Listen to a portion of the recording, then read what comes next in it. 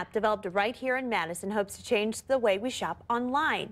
Meredith Barrick has more details on Markable. And Meredith, that sounds really awesome.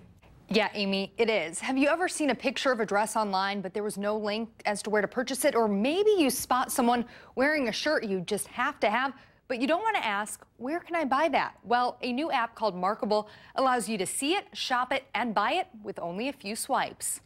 The girl inside me always want to look at other girls, what they're wearing. Working in finance, Joy Tang says she would always find herself looking at blogs and websites like Pinterest for the latest in fashion. It's really awkward to write a comment saying, hey, where did you get that from? Because I don't want to sound like a copycat. And she knew her friends felt the same way. In my head, I was like, what if I just came up with a technology where I don't need to ask anyone?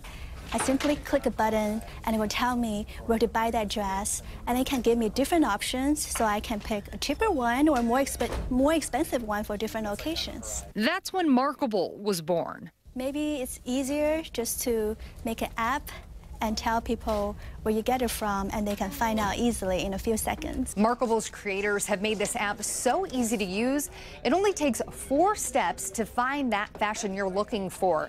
You simply snap a picture, upload it to the app, and the app finds jackets just like the one I'm wearing. And you can purchase immediately inside the app with your credit card or with PayPal. With 800 plus brands represented, gone are the days of scrolling through pages and pages for whatever you're looking for. It's more like, hey, I'm already interested in this. Just tell me where to get it.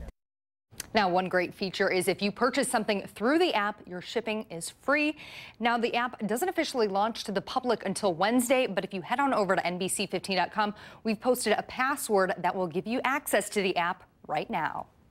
That is really cool, Meredith. Thank you.